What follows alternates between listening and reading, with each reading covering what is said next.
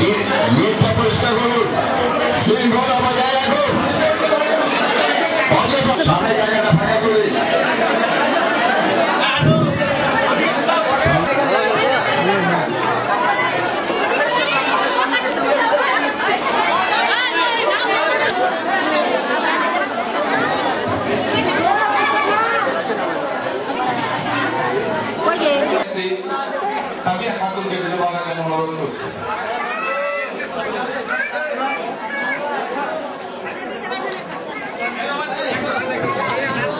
Thank you.